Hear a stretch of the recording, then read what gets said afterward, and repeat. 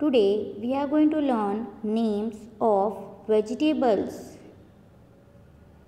Tomato. Potato. Onion. Cabbage. Chilli brinjal radish carrot lady's finger